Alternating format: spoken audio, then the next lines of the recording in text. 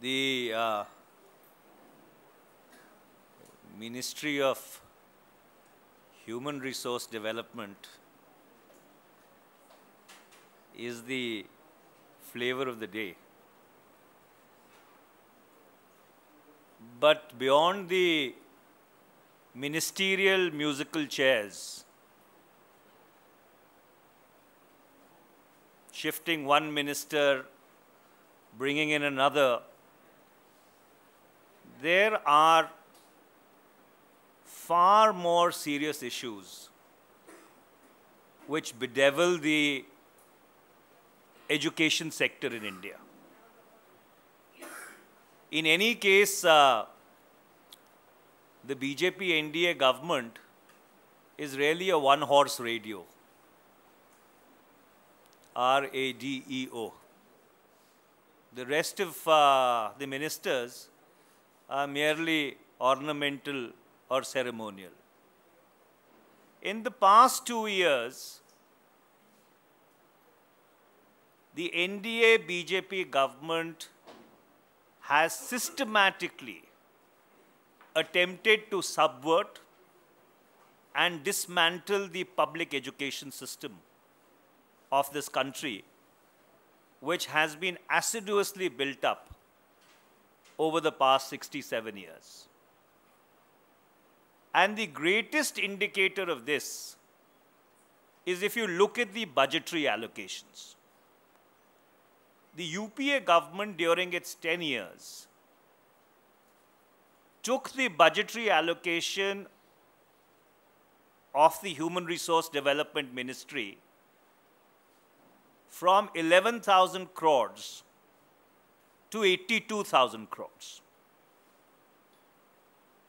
And the moment the NDA BJP government came into office, first they rolled it back to about 69,000 crores.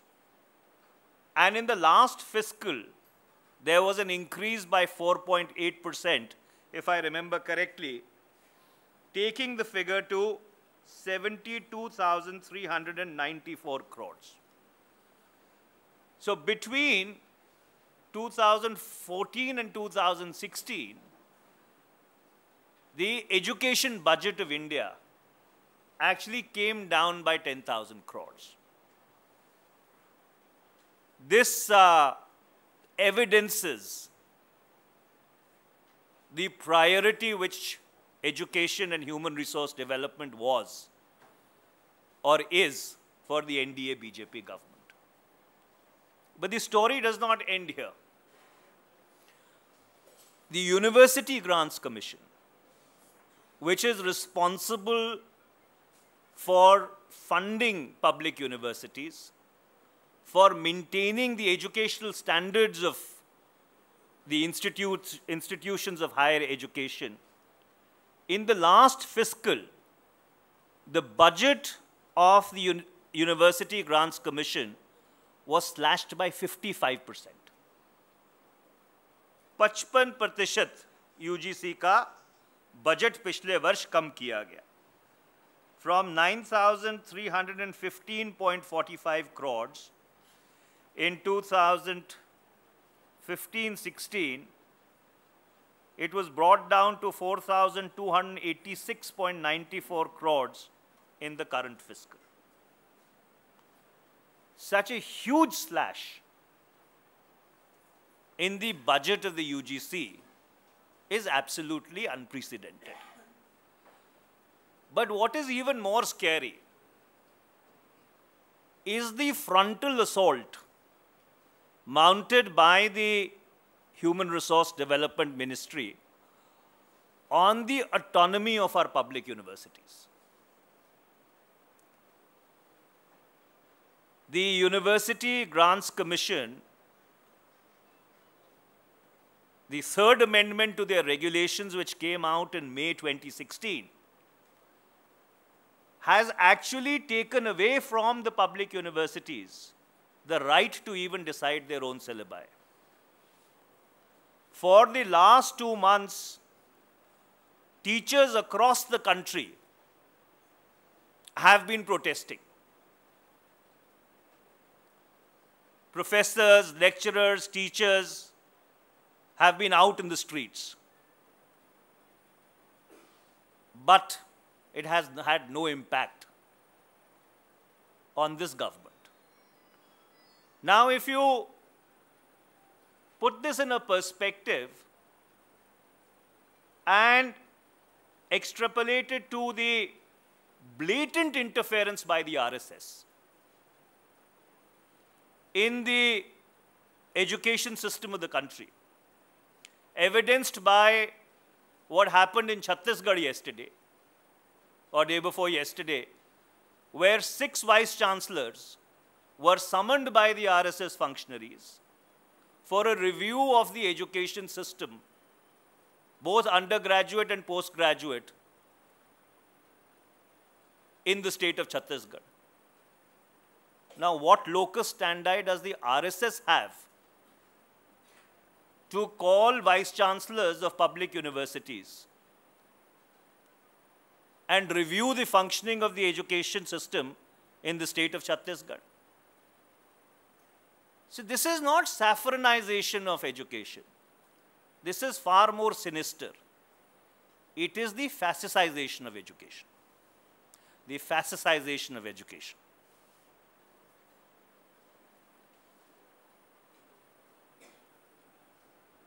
A very systematic attempt is being made in order to completely emasculate India's public education system and hand over everything to the private sector. And given the fact that the current incumbent of this ministry was very kind to private interests in his previous avatar, in the environment ministry, it is time that all progressive and all nationalist forces got together to protect the public character of India's education system. Hindi में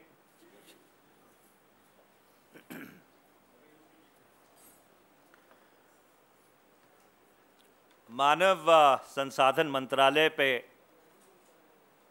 आज सबकी नज़र बनी हुई है। ये बात उतनी संजीदा नहीं है कि एक मंत्री को हटाकर किसी और मंत्री को वहाँ बिठा दिया जाए, क्योंकि एनडीए, भाजपा की सरकार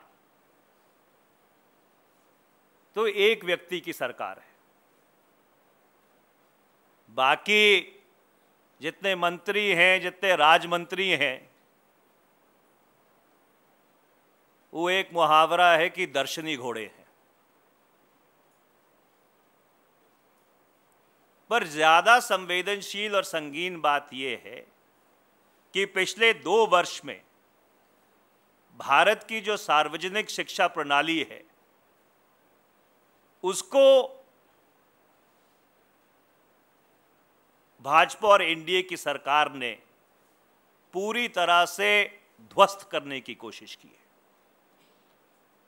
और इसका सबसे बड़ा प्रमाण बजट के आंकड़े हैं। यूपीए के 10 वर्षों में जो शिक्षा के ऊपर बजट था, वो ग्यारह हज़ार करोड़ से बयासी हज़ार करोड़ तक गया। दस वर्ष में ग्यारह हज़ार करोड़ से बयासी हज़ार करोड़ तक। और जैसे ही 2014 में सरकार बदली, पहले तो उनसठ हज़ार करोड़ पे लेके आए। और इस वर्ष भी जब बढ़ाया तो सिर्फ़ केवल चार दशमलव आठ प्रतिशत बढ़ा के बहत्तर हज़ार करोड़ पे उसको खत्म कर दिया। तो दो वर्ष में शिक्षा के ऊपर जो आउटले है वो बढ़ने की जगह दस हज़ार करोड़ रुपए से कम हुआ। इसके साथ साथ जो यूजीसी का हाल इस सरकार ने किया है, शायद पहली बार ऐसा हुआ होगा सतासठ साल में कि किसी संस्था का जो बजट है वो 55 प्रतिशत काट दिया जाए। यूजीसी का बजट नौ हज़ार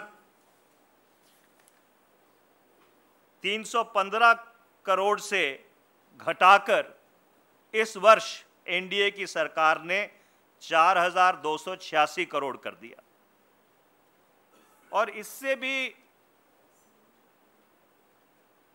बड़ी संवेदनशील बात यह है, जो एक बहुत चिंता का विषय है, कि इस सरकार ने सीधे तौर पर विश्वविद्यालयों की जो स्वात्ता है, जो ऑटोनमी है उसके ऊपर पूरा प्रहार किया है। जो यूजीसी के अधिनियम आए हैं मई 2016 में, उन्होंने विश्वविद्यालयों से सिलेबस तय करने का अधिकार भी खोसने की कोशिश की है।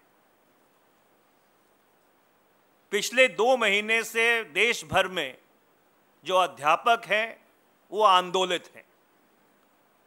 पर इस सरकार के कान पर जू तक नहीं रहेंगी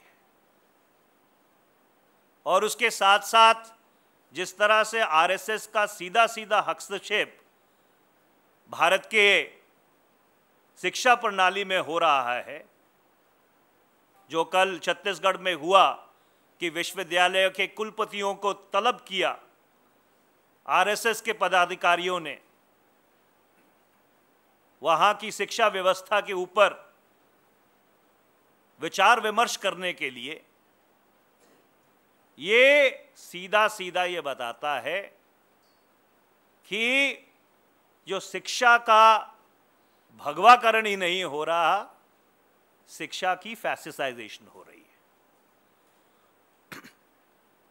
इसलिए ये बहुत ही एक गंभीर मसला है कि जो शिक्षा प्रणाली भारत के आम नागरिक के लिए बनाई गई, कि बच्चे स्कूल में फ्री पढ़ सकें, उनको मिड डे मील स्कीम प्राप्त हो, जब वो महाविद्यालय या विश्वविद्यालय में जाएँ तो फ़ीस उतनी रखी जाए जिससे कि सामान्य माँ बाप भी अपने बच्चों को स्कूल और कॉलेज और विश्वविद्यालय में भेज सके। इस सारी प्रणाली का ये सरकार निजीकरण करने पर लगी हुई है। और इस परिपेक्ष में जिन व्यक्ति को ये पदभार सौंपा है, ये मामला और भी चिंताजनक हो जाता है, क्योंकि जब वो परिवारन मंत्री में मंत्रालय में थे इन्वायरमेंट मिनिस्ट्री में थे तो भारत के जो धन्ना सेठ हैं, भारत के जो पूंजीपति हैं, उनके ऊपर वो कुछ ज़्यादा ही कायल रहे हैं।